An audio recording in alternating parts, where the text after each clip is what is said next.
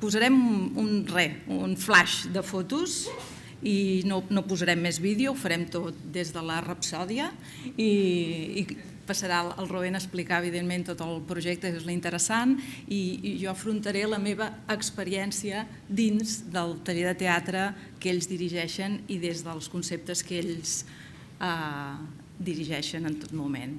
Eh? Sent? Llum?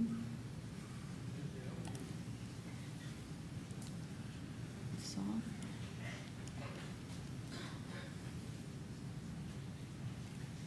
Si no se sent, en tot cas quedeu-vos amb les imatges perquè observeu una mica la dinàmica. No, no, però poso un. Sí?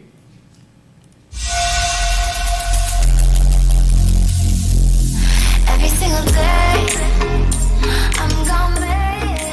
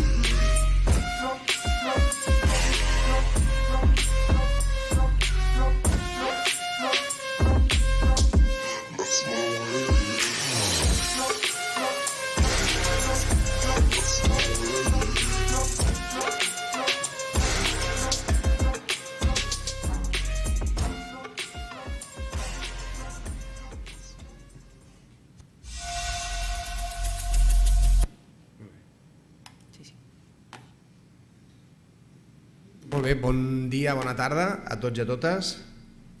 Soc en Rubén David Fernández i tenia aquí un adaptador però ha desaparegut, no sé on està, posarem aquí. Uh, formo part d'un equip que hem tingut la sort hem tingut la sort de poder desenvolupar un projecte els darrers eh, quasi bé dos anys. És un projecte europeu. Se sent bé? Sí? És un projecte europeu que bueno, amb aquests finançaments doncs, hem pogut portar a terme una sèrie d'accions amb adolescents que estan sota mesures de justícia juvenil. Llavors, és un projecte que originàriament partia d'aquest concepte de la radicalització violenta, però li hem, pogut, li hem pogut donar una volta i avui és una miqueta la meva intenció compartir doncs, el que, com ha anat sortint això. Um, bueno, em, dejarme hacer una metáfora con el teatro y la teoría... Mira, ¿ves? ¿Ves? ¿Ves? Dice que lo traje. Estava ahí, Sí, estava sí, ahí. sí, ya, ya, ya, ya había volado. ¿eh? Bueno, quería hacer una metáfora con el, con el tema del teatro. En, te- en teoría de dramaturgia hablamos de, text, de contexto, texto y subtexto, ¿no? Y es como una especie de metáfora que me va a poder ayudar a desarrollar un poco la presentación de hoy. Bien. Bien, eh, bueno, yo lo primero que os quería pedir, eh, como veis he pasado del catalán al castellano, me suelo expresar mejor en castellano, imagino que no hay ningún problema, por lo tanto sigo por ahí. Eh, lo, que me, gustaría hoy es compartir una pequeña capsulita, que es como una, ven- una ventana muy pequeñita. Ya está, ya está, eh, ha aparecido. Una, una capsulita de lo, que, de lo que hemos hecho. Yo llevo muchos años, no sé si son muchos, pero llevo algunos años, viviendo en primera persona la cuestión del teatro. Desde un punto de vista, digamos, como no como actor profesional, pero sí como eh, desde la intuición, como psicólogo comunitario y como interventor social en general, con la intuición y la vivencia personal de que el uso de las prácticas teatrales, el uso, el uso de las prácticas performativas, tiene un potencial para acompañar procesos de cambio que no lo desmerece de otras estrategias interventivas que por ahí seguro que ustedes están utilizando y que seguramente también compartimos la cuestión del teatro. Esa intuición, en el momento que tengo la oportunidad de vincularme profesionalmente con la universidad, concretamente con el Departamento de Psicología Social de la Facultad de Psicología del campus allí de Valdebrón, eh, esa intuición intento analizarla de manera más rigurosa y de alguna manera pues desarrollar investigación y acumular, no sé esto que ahora está de moda, ciertas evidencias, ¿no? Y por ahí es por donde aparece la propuesta del taller Ensayando la Vida. Ah, ese juego de palabras de ensayar la vida está, está buscado. Bueno, pues como os decía, voy a utilizar esta idea de, contexto, texto y subtexto para organizar mi exposición de hoy, que entiendo que tenemos como 15, más o menos, 15 minutos. A deciros que mm, primero agradecer esta, esta ventana que, que habéis abierto, también agradecer muchísimo que pese a los, los ritmos a veces un poco lentos, ¿no? eh, hemos podido acceder eh, de manera eh, totalmente desde la confianza tanto a, al Centro Educativo Alsina como hemos podido colaborar con el equipo de Mediuber y eso ha sido gracias a las facilidades que se nos han dado desde la institución, lo cual a las personas que venimos de la universidad con cosas raras, ¿no? pues también es de agradecer eso. ¿no? Y también reconocer que, eh, no sé si os autodefinís como una comunidad de práctica, o si es algo que viene muy de arriba, pero que tengáis la oportunidad de compartir espacios de intercambio y de formación como ciudadano que paga impuestos, me parece maravilloso. Es decir, aprovecharlo, por favor. Es decir, mejorar vuestra praxis profesional en estos espacios. Es decir, para mí como ciudadano, saber que aquí delante tengo trabajadores y trabajadoras públicas que estáis compartiendo saberes sobre vuestros haceres, me parece maravilloso. Y que además eso lo pago con mis impuestos. Provocado. Bueno, el contexto. A ver, nos interesa mucho, eh, nos interesa mucho acortar las distancias entre la universidad y los saberes legitimados, privilegiados, que se supone que producimos desde la universidad, con los saberes que las personas que estáis y estamos, yo también hago praxis, intervención, que estáis y estamos en la cotidianidad de la intervención, también tenemos. Es decir, nos interesa acortar las distancias entre los saberes académicos y los saberes tácitos, experienciales o aquellos que salen del día a día de nuestras prácticas profesionales. Hay que valorar, privilegiar esos saberes. Hay que conseguir una verdadera ecología de saberes donde esos diálogos son posibles y no vernos unos y otros como cosas raras que no, que no hablamos. ¿no? Yo creo que aquí se están dando pasos. ¿no? Esa es una de las ideas del contexto que nos llevó a hacer este proyecto. Luego también cada vez más estamos incorporando esto que seguramente por ahí os suena, que es la metodología de aprendizaje-servicio, que en definitiva también responde a, a, hacer más pequeñito ese gap, esa distancia entre la universidad y la sociedad. Más nosotras estamos allá arriba, en la montaña, es como que vemos el campo interventivo, ¿no? tenemos ahí todo, toda Barcelona para hacer intervenciones. Pues nos interesa eh, poder probar, eh, digamos, este tipo de estrategias, metodologías que en definitiva también nos hacen cambiar a, a nosotras, ¿no? desde el rol más académico. Y finalmente, bueno, pues Europa es un contexto en el cual uno puede conseguir dinero, ¿no? Y ese dinero, esos recursos que son públicos, pues en la medida de lo posible nos interesa alinearlos con una agenda de cambio que fortalezca nuestras prácticas locales desde la conexión internacional. Es decir, es un verdadero placer poder compartir con compañeras de Florencia, con compañeras de Rumanía, con compañeras de Berlín nuestras prácticas y eso tenemos la suerte de que hay un marco, por ahora, de ahora, ¿no? ¿No? Que, nos permite hacer esto.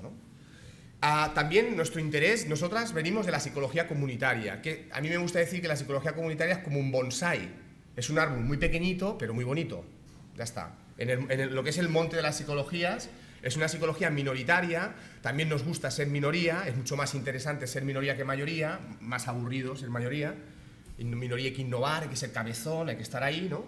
Seguramente por aquí alguien se identifica con eso de ser minoría. Ah, también nos interesa eh, o trabajamos desde las teorías del empoderamiento, lo digo en plural, teorías del empoderamiento, y desde el enfoque salutogénico, génesis, origen, salud, el origen de la salud. Entendemos la salud como bienestar. Y ese ha sido el enfoque que hemos dado a este taller. Nos ha interesado poner el foco en la salud y en el bienestar, desbordando cualquier otro análisis de tipo más, digamos, contextualizado de, de, de las medidas judiciales, de las penas, etcétera. Y otro elemento que nos interesa mucho explorar son las prácticas de arte comunitario. Y aquí, por ahí, eh, yo porque me, gustó más la cuestión performativa del teatro, pero también trabajamos con baile, que es mucho más inclusivo que el teatro. El teatro requiere una habilidad que puede separar al principio, pero el, moverse, la danza, es algo muy inclusivo. Y por lo tanto, digamos que estamos en esa intersección entre psicología comunitaria, teorías del empoderamiento, saludogénesis, artes o prácticas artísticas de base comunitaria, y ahí tendríamos esa PF que serían las prácticas performativas. En inglés suena como mejor, applied drama, ¿no? Aquí como que nos cuesta más. Pero en definitiva es como todo lo que es el desarrollo desde la teoría dramatúrgica, desde las prácticas teatrales, se puede poner al servicio de nuestras prácticas interventivas con objetivos de cambio. Vendría a ser un poco el, resumen. ¿no?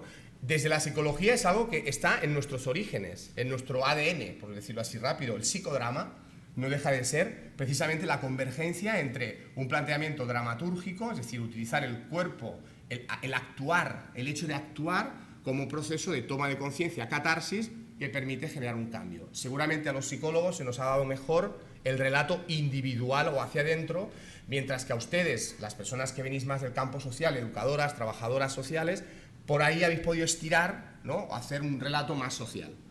Pero nos hemos encontrado, que al final es lo importante.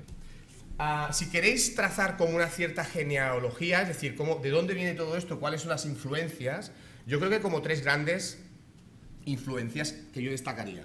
Por un lado está el, ámbito del arte, que aunque parezca que el arte queda como muy lejos, dentro del arte han habido movimientos que han propuesto diferentes giros. A saber, tres muy destacados. El giro social. De repente las prácticas artísticas empiezan a dialogar, a pedir que el público interactúe. Y uno se encuentra en un museo haciendo cosas, ¿no? lo que antes era mirar pasivamente, de repente ya te interpelan a participar giro social. Después también el giro educativo, todo lo que tiene que ver con la educación artística y cómo cada vez en nuestros planteamientos pedagógicos el uso de las artes es en sí mismo una metodología educativa. Y finalmente, y creo que este es un giro tremendamente interesante, está el giro político, que es cuando las artes se ponen al servicio de una agenda de cambio, a veces de un lado, a veces de otro, es decir, no siempre del mío, ¿vale? Pero en definitiva, esos tres giros han preñado ¿no? las prácticas artísticas y una serie de modalidades de las que nos hemos inspirado. Por otro lado, yo destacaría también en el campo de la educación social la influencia de la Escuela de la Animación Sociocultural Francesa, todo el relato de la transformación de las, de las periferias, de las banlieues, y cómo todos esos planteamientos metodológicos acaban abrazando también una cierta propuesta de democracia cultural, de práctica cultural, que eh, tiene un componente transformador muy interesante. También desde la educación y desde la pedagogía, ya salto de continente, me voy a Brasil y sobre todo en Brasil destacaría dos personas, una que no hace falta eh, decirla, que es Paulo Freire, ¿no? Si no salía hoy, no, no, no nos íbamos tranquilos, ¿no? En psicología, por cierto, en el último año de carrera yo doy una asignatura y les pregunto a todos mis alumnos y alumnos cuántas personas conocen a Freire. En una clase de 40 personas, ¿cuántas creéis que lo conocen? Tres. Es grave, muy grave. Ah, después, otra persona que yo destacaría a nivel de influencia es Augusto Boal. Augusto Boal ya falleció y él nos ha legado todo un arsenal, perdón por la expresión militar, todo un conjunto de metodologías que tienen que ver con la práctica del teatro del oprimido y sus diferentes formas. Teatro legislativo, cómo hacer leyes, prefigurar leyes que acaban impactando en constituciones o en, o en otros sistemas legales. El teatro del invisible. Podía estar haciendo yo ahora teatro y ustedes no saberlo, no lo estoy haciendo, o en parte sí Ah, pero igual hay por ahí alguien en el público que ahora se levante y se cabrea conmigo, está compinchado conmigo, Teatro del Invisible. Y luego el que más trabajamos nosotras, que es el teatro foro, que vendría a ser una forma de teatro interactivo o participativo en el cual el tradicional espectador puede convertirse en actor. Y los actores no tenemos por qué ser profesionales. Cualquier persona puede ser actor. Ah, y finalmente la influencia de la acción comunitaria, el trabajo social, y aquí, bueno, sobre todo el desarrollo cultural comunitario, y algunas formas eh, de, prácticas artísticas de base comunitaria que sobre todo nos vienen de la influencia más anglosajona. Actualmente en Australia, Reino Unido, son como las dos cunas, alguna cosa también en Norteamérica. Ah, entrando ya en el texto, en lo que hemos desarrollado y, voy viendo el tiempo. Eh, para, para nosotros ha sido muy importante tener en cuenta que delante teníamos adolescentes, diversos, complejos, como lo fui yo, o como lo fuimos todas. No deshumanizar. Es decir, no, tenemos a un joven infractor o no tenemos a un joven delincuente, tenemos a un adolescente. ¿Qué implica eso? Antes la compañera Yolanda no lo decía, tela, ¿no? El trabajo y la intensidad, el desgaste que nos lleva. ¿Qué nos ha interesado? Posibilitar una construcción de la identidad desbordando esa categoría social que manejamos de manera inconsciente muchas veces en nuestras relaciones cotidianas con los chavales, el joven delincuente. De hecho, metodológicamente en ningún momento le preguntamos a los chavales por qué estaban ahí. De hecho, no nos interesa. Se rompe. El, marco relacional lo rompes en el momento que no me interesa saber y de hecho cuando intentaban, como claro, también por un tema de, ¿no? de mostrar, parábamos, no nos interesaba. A, también a abordar de manera compleja el fenómeno de las violencias. Eh, esto es un proyecto europeo que pretende perseguir, identificar a jóvenes que se están radicalizando desde una perspectiva yihadista. Aunque no lo dice el título, es eso. Y la mayoría de proyectos que se están financiando se hacen desde una lógica de seguridad o inteligencia.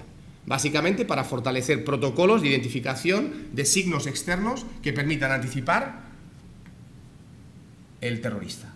Y eso cada vez hay más evidencia a nivel europeo que no solo nos sirve, sino que incluso puede ser contraproducente. Porque aquel que sabe lo que está mirando para identificarle, lo cambia.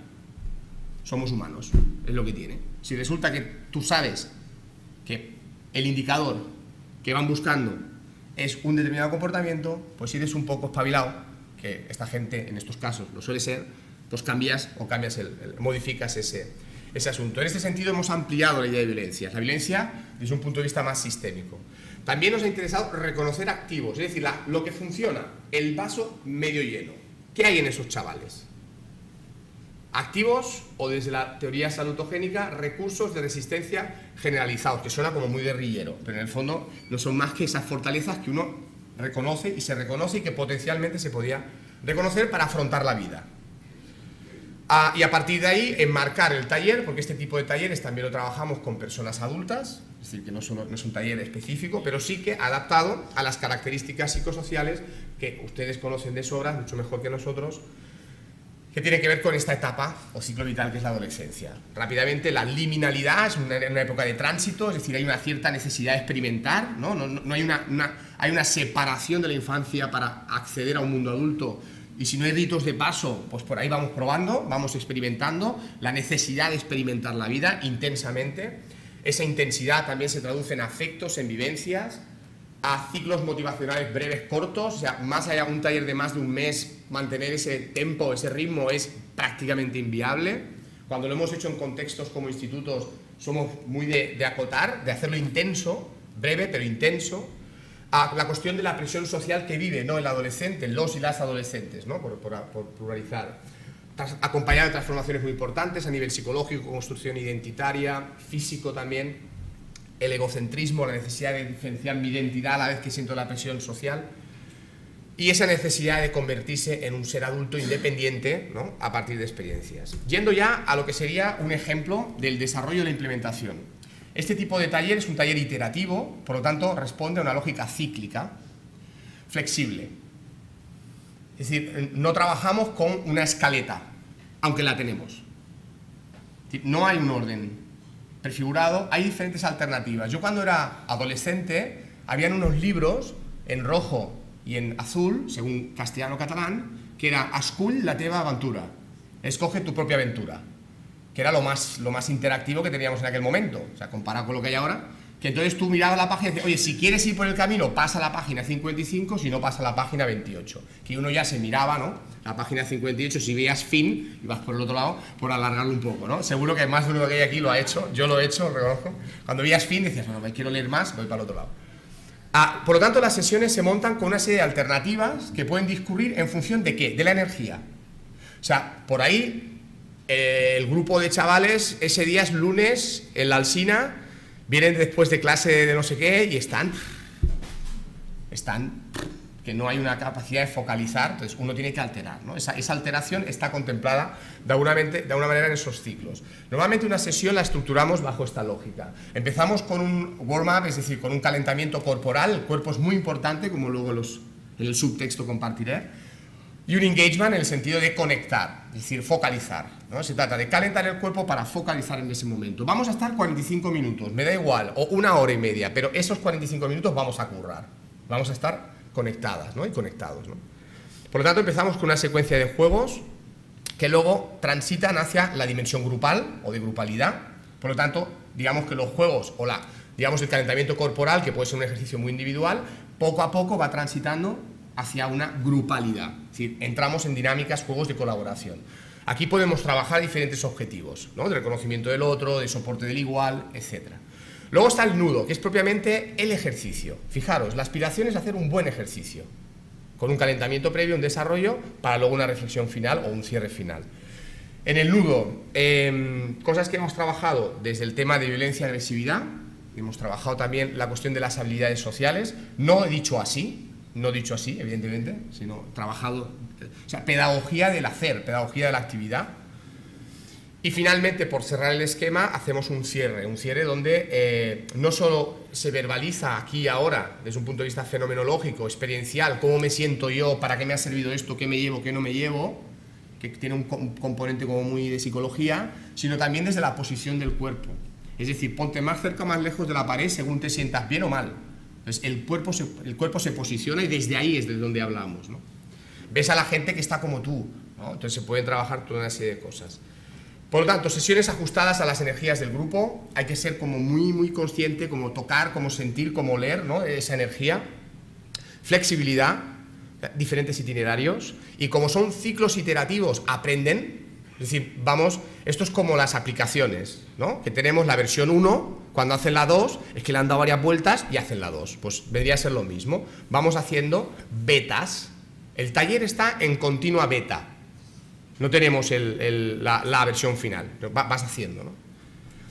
Después, pocas normas, pero muy claras. Es decir, se pactan esas normas. Y a partir de ahí son dos o tres, punto. Pero digamos que intentamos también que haya ese pacto grupal. Luego, las personas que facilitamos esos talleres, ponemos el cuerpo. Ese soy yo. Poner el cuerpo quiere decir que el cuerpo se convierte en, en nuestra herramienta de trabajo. La corporalidad, la comunicación no verbal, forma parte de nuestra eh, estrategia de trabajo. Decir, no solo la verbalidad, ¿no? o en todo caso la mirada, sino también el contacto, el cuerpo. Y eso gasta, desgasta, seguramente por ahí ya, ya lo conocéis. Es interesante contemplar como dos, mínimo dos roles desde, desde el punto de vista de la facilitación. Está quien facilita, que tiene que estar 100% centrado en el grupo, las energías, las dinámicas, las relaciones, pero luego está, es interesante tener como un dispositivo que se activa o se desactiva en función de ciertos momentos así como más tensos, más conflictivos. Puede pasar, en un juego hay tensión, por lo tanto de repente dos chavales se enganchan. El facilitador no deja de facilitar la grupalidad, pero tienes ese enlace, ese observador, esa persona de soporte que actúa. ¿no? Separa a esas dos personas, gestiona o atiende esa situación. Sobre todo para no romper el flow, el fluir de lo que es la sesión, ¿no? la, vivencia. Temas trabajados, como os decía antes, habilidades sociales o activos que uno tiene, en la relación con la violencia y agresividad, esto tanto en la Alsina como en el caso de Tarrasa. Ya para acabar, ¿sí? Eh, para acabar, quedan 30 segundos. Seré molt ràpida, Rubén. a algunos aprendizajes o el subtexto, ¿no? lo, lo que, no- la- lo que nos ha movido por ahí, esta, esta experiencia o estas experiencias que, que venimos desarrollando. Las personas, los participantes, ensayan, por eso lo de ensayar la vida, ensayan nuevos roles, relaciones, posiciones sociales. Se ven a sí mismas como les ven a ellos. Y tú te ves a ti misma como ellos te ven a ti. Esa es la grandeza de la práctica teatral, que de repente rompes ¿no? tu posición. O exploras, ensayas posibles alternativas. También se experimentan, estos son valoraciones eh, que nos, participativas, o sea, que nos hicieron los chavales. También experimentaron nuevas formas de expresarse y comunicar quiénes son ellos. ¿Quiénes son ellos? También eh, se dan ciertas, ciertos momentos de problematización. Es decir, el método Mauriño, ¿por qué? ¿Por qué me pasa esto? ¿Por qué me pasa esto otro? ¿Por qué? ¿Por qué? ¿Por qué? Y esa problematización genera oportunidades, esto es muy difícil de medir, oportunidades de toma de conciencia crítica sobre diferentes esferas de la vida de una misma. También el hecho de utilizar juegos que acompañan a un objetivo, que se acompañan, perdón, de un objetivo, hace que generes la vivencia de éxito. Pequeños éxitos sumados generan vivencias de empoderamiento, al menos en una esfera psicológica. Entonces, también es la idea de ir generando como esas vivencias de consecución de éxitos. ¿no? Vivencia de grupalidad. en sentido de, cierto grupo, ¿no? cierta dinámica de grupo. Vivencia de corporalidad. Esto fue muy fuerte. En el caso de, la Alsina, no se esperaban que las personas que facilitábamos eh, utilizásemos el cuerpo, o sea, formásemos parte de los juegos, nos tirásemos al suelo, gritásemos. No, no lo esperaban, ¿no? En relación a nuestra vivencia como facilitadoras, por un lado, eh, trabajamos desde el vínculo, o sea, es imposible no vincularse. O sea, si, si trabajamos desde ese marco asimétrico, modelo médico, seguramente, no sé si en el ámbito social también habláis de estos modelos, pero en psicología tenemos un modelo muy claro, que es el modelo médico, ¿no? Uno sabe, el otro no sabe, y la relación es asimétrica, vertical. Aquí no hay una horizontalidad, porque hay diferentes roles, no somos iguales, pero sí que nos relacionamos desde un plano que tiende a esa igualdad, y eso vincula. O sea, los nombres, desde el primer día, te lo sabes. Aunque sea un taller. Yo entiendo que vosotras estéis acompañando procesos largos, sabéis la persona, ¿no? Pero en este caso hablamos de un taller. Sentido del humor, comparto con la compañera anterior, Yolanda, ¿no? El, el sentido del humor como, como recurso para trabajar.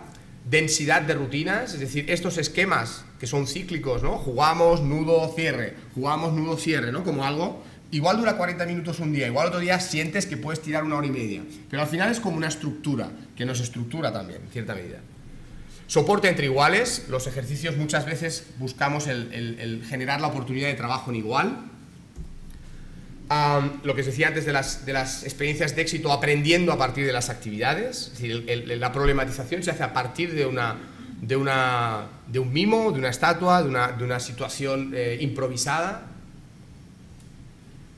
Y en general, y ya con esto acabo, en relación a estas prácticas performativas, eh, bueno, no son la panacea, es decir, esto no es más que otro recurso metodológico que tenemos, que, que tengo, que tenéis, que tenemos todas, que está ahí y que en cierta medida también podemos utilizarlo. ¿no? Yo siempre pongo la metáfora de que la, o el interventor social tiene que hacer muchas visitas al Leroy Merlin.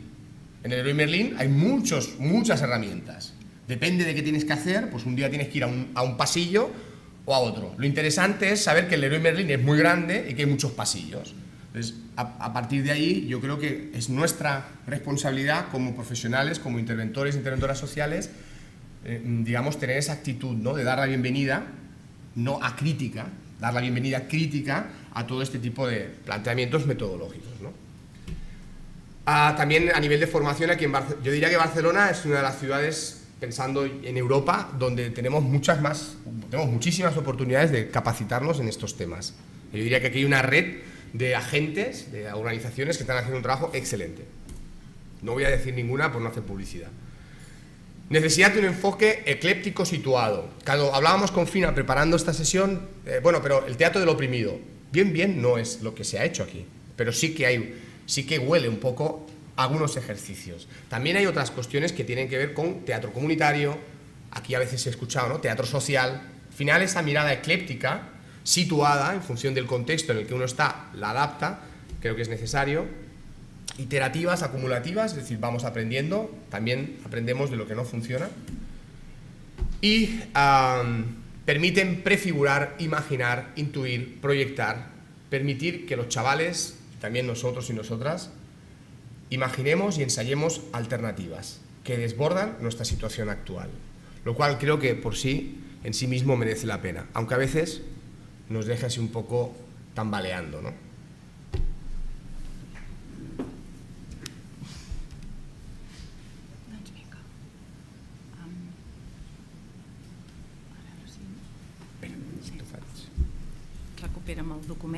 Bé, començo a anticipar-me perquè anem molt curts de temps i tenim moltes ganes d'escoltar la Begoña.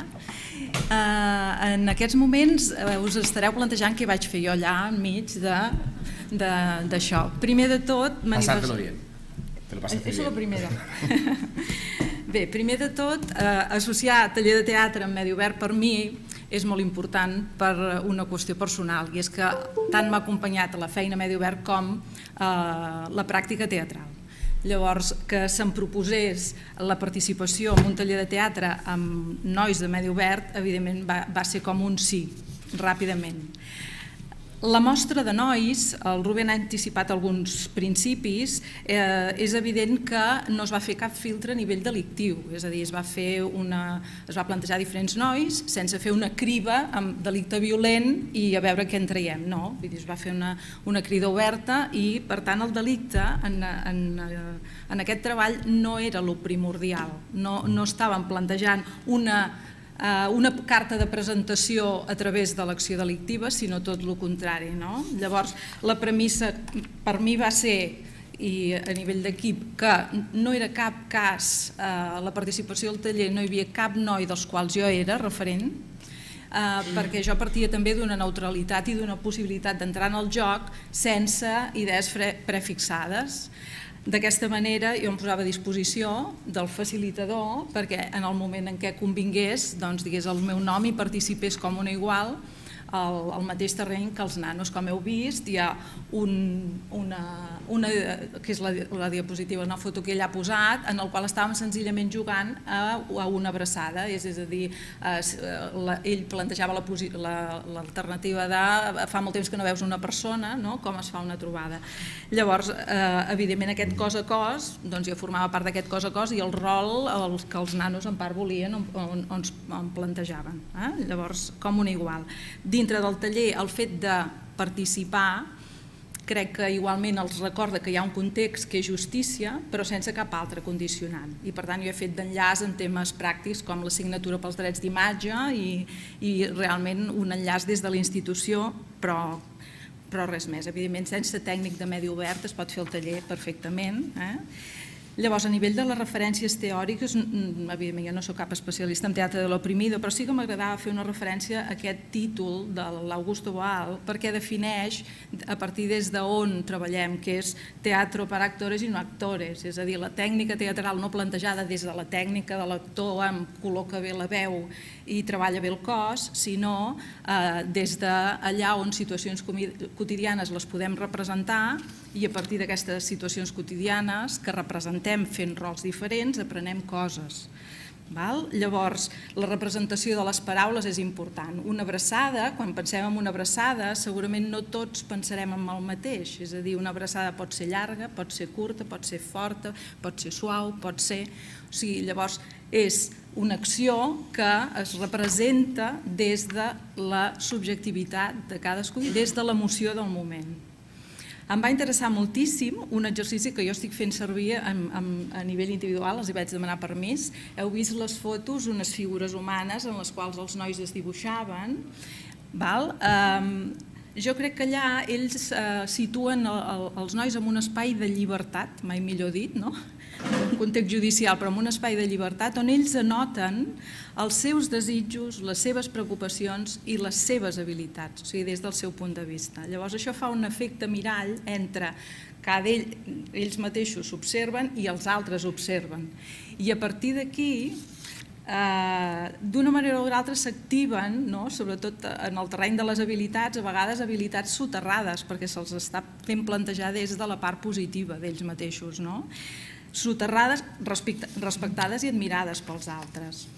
Curiosament, hi ha un exemple que després sabent el, el, pel delicte amb els quals un estaven, després vaig espiar, i, i en aquesta imatge, en el, la carta de presentació, doncs ells mateixos, no, és que, és que és molt buen xaval. I després dius, clar, ells estan, han estat definint el millor xaval el que en realitat tenia el delicte més greu i l'estan situant en un espai on el, la seva imatge realment va canviar totalment. Els exercicis obliguen moltes vegades doncs, això, són situacions que els obliguen a autocontrolar-se, haureu vist que hi ha un que fa de sec, no? amb els ulls tapats i l'altre fa de guia. Evidentment, si no hi ha una situació d'autocontrol, d'empatia cap a l'altre, es poden donar un cop de cap, el sec els pot donar un cop de cap, ens va passar a la dinàmica, que un dels nois, Hijaja Badan, doncs, eh, va acabar el que feia de sec, va acabar donant un cop de cap i això genera moltes coses. Va canviar totalment l'actitud que tenia del xistós del grup a partir d'haver mm, fallat a l'altre. No? Eh, exercicis dinàmiques que en realitat demostren que el diàleg és el millor antídot cap al conflicte. No? Entrem en un autobús, tots, cadascun fent un personatge i un la lia a dintre l'autobús. Eh, com es resol això? No? I tot això va sortint espontàniament doncs, en aquests jocs. Um, D'altres jocs que realment si no es, eh, es resolen des de la cooperació fracassen. Un zombi tots una rotllana, també l'heu vist a la foto, i, un, uh, i una cadira buida. Si el zombi arriba a la cadira, hem perdut. Per tant, és des de la cooperació que hem de fer que aquest zombi no, no ens ocupi la cadira. Coses tan senzilles, no? que són molt divertides i que, a més a més, doncs, després permeten no? que, que, que ells mateixos generin solucions. Per tant, estan construint una imatge, com us deia, en funció de com actuen, de com actuem i sense etiquetes prèvies. Per tant, són les accions, a través del joc teatral, les que parlen. Mai millor dit, jo em plantejava un eslògan per la jornada no? i pensava realment uh, un tipus de taller d'aquest tipus en, en el nostre àmbit i com a eix principal podem deduir doncs, que les tècniques teatrals són una, una bona manera d'afavorir l'aprenentatge i aquest aprenentatge convertir-lo en el mateix moment en experiència perquè s'està vivint allò en aquell moment i amb, aquest, amb aquelles determinades persones. Una darrera frase, sense fer dogma, però que m'agradava per tancar i, i que, que funciona a partir doncs, d'aquesta doncs, teoria de teatre de l'oprimit de l'Augusto Boal, que diu «Todo ser humano es teatro, aunque no todos hacen teatro. El ser humano puede verse en el acto de ver, de obrar, de sentir, de pensar. Puede sentirse sintiendo, verse viendo y puede pensarse pensando. Ser humano es ser teatro». I això és tot.